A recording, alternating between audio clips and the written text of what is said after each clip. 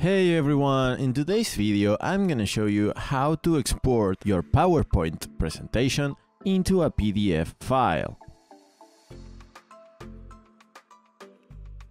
Okay, so the first method to export your presentation into a PDF file is go into File, scroll down until you see Export, and then select Create PDF.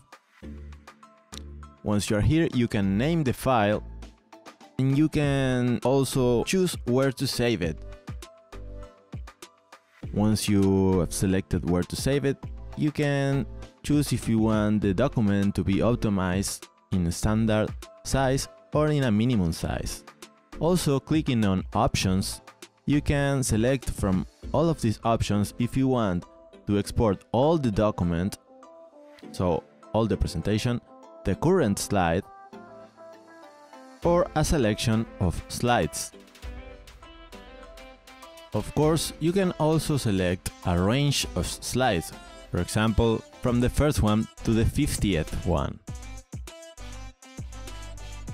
You can also publish slides, handouts, note pages, and outline view from the options. I'm just gonna let slides.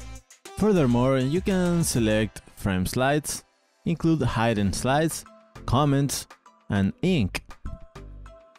You can also include non-printing information and other PDF options. Once you have selected the option, click on Publish. As you see, now we have all the slides in a PDF file. If you want to export just some slides, you can select them by pressing the Ctrl key. And then as I said before, go into File and export them as a PDF file, but choosing Selection in the Options prompt.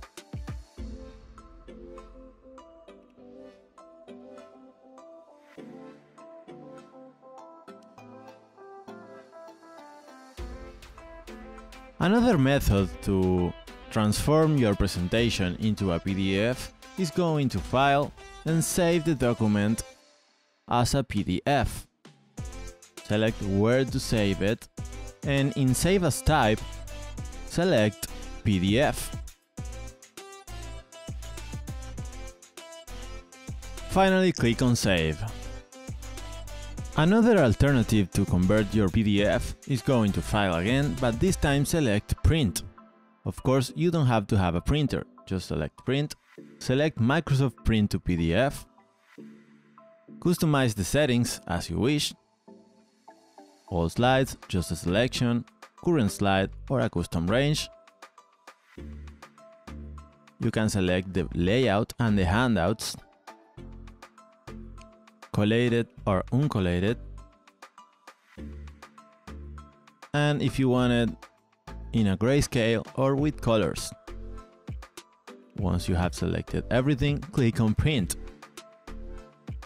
Choose where to save the presentation, name it, and save it.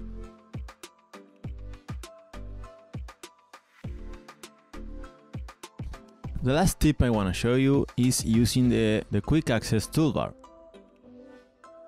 By using the Quick Access toolbar, we can add a button that sends our presentation as a PDF in an email. To do it, Select all commands and search for the option called Email as PDF attachment. Then click on Add and finally click OK. If you don't find the Quick Access toolbar in your ribbon, right click on it and select Customize the ribbon. In the Quick Access toolbar, you'll see this option that says Show Quick Access toolbar below the ribbon. Select it and click OK. Now you'll see that we have a new button that instantly send the current presentation as PDF in an email. This can be very useful if you usually work with presentations. And that's it for today. I really hope you enjoyed this video.